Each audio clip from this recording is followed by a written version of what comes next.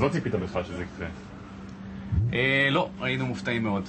בפרס הסרט הטוב ביותר לשנת 2006 זכו שני סרטים. Las dos películas recibieron la misma cantidad de votos, Mi amada Viva y Tierra Loca.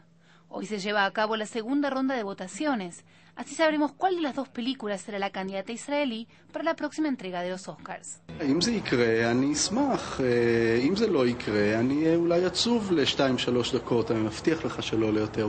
En una casa antigua en la otra punta de la ciudad se encuentra la productora que realizó la película Tierra Loca. Contrataron a un grupo de personas que llama a todos los miembros de la academia para convencerlos de votar a su favor. לכל אחד מאיתנו יש הרבה מה להרוויח, במידה ונייצג את ישראל לאוסקר. כמה אנשים ראו את הסרט עד היום? כ-200 אלף.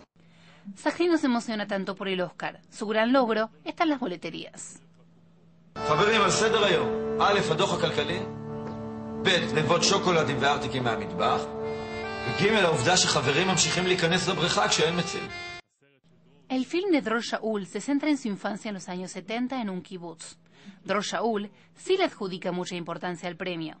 En caso de ganar, su película llegaría al cine el próximo fin de semana. Mi amada Aviva trata sobre el talento literario de la cocinera de un hotel en Tiberíades.